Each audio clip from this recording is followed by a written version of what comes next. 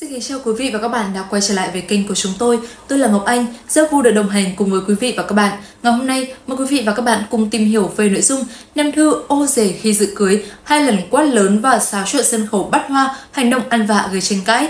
Cũng là sân khấu nhún nhảy như sao Việt, nhưng Nam Thư bị nhận xét là làm lố trong các đám cưới sao Việt. Ngoài những giây phút xúc động của cô dâu chú rể, thì cư dân mạng trầm hóng lúc các nghệ sĩ quẩy của lối về cũng chơi hết gà hết số với cô dâu Minh Tú, thế nhưng Nam Thư lại vướng tranh cãi vì những hành động mạnh tay với đồng nghiệp, biểu cảm ô dề ngay trên sân khấu. Nữ ca sĩ khiến nhiều netizen để lại bình luận khó chịu khi chứng kiến thái độ trong hai lần giật hoa cưới. Theo đó, khi Minh Tú quăng bó hoa cưới để nhà vía lấy chồng cho người tiếp theo, thì rất nhiều mỹ nhân về biết đã xếp hàng để bắt vì được người hỗ trợ nên Hoa hậu Thùy Tiên là người được chụp hoa cưới. Sau đó Nam Thư đã nhanh chóng tiến lại gần và dùng tay đẩy mạnh vai của đàn em. Trước hành động bất thình lình của Nam Thư, Hoa hậu Thùy Tiên lộ rõ biểu cảm hốt hoảng. Không chỉ thế, đến lần thứ hai, Minh Tú tiếp tục tung hoa cưới pha ke là cả chậu cây thì Nam Thư nhanh chóng tiến đến xếp hàng đầu tiên. Khi Huỳnh Lập bắt được thì Nam Thư quát lớn và có hành động ôm làm nam diễn viên ngã xuống sàn.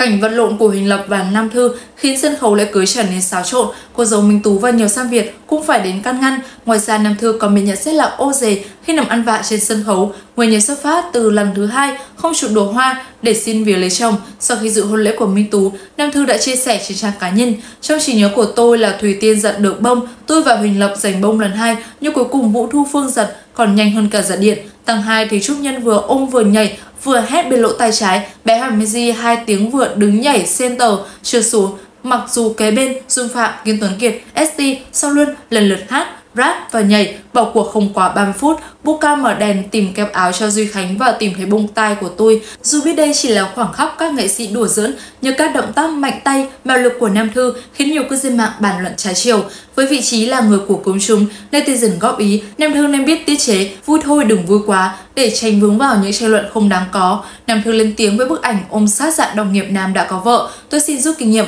Nam Thư thẳng thắn nói với bức ảnh thân mật với Quang Tuấn gây tranh cãi trên mạng xã hội thời gian vừa qua.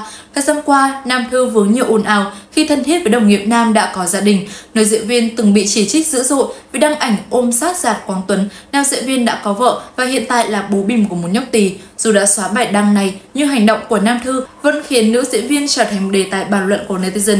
Trong buổi phỏng vấn gần đây với chúng tôi, Nam Thư đã thẳng thắn nhất đến ồn ào vừa qua. Cô xin lỗi khán giả và cho biết sẽ rút kinh nghiệm. Tôi và anh Quang Tuấn như ruột thịt, học chung trường, cùng gốc miền Trung, anh Tuấn dùng y hệt em trai Nam Thư vậy, mà rất hiền, chân chất, thật thà, trông tội tội mà hay sàm. Sau ồn ào đó, anh Tuấn cũng trả lời phỏng vấn là về góc nhìn của xã hội thì là sai, anh ấy có vợ rồi nên dưỡng vậy là hơi quá đáng.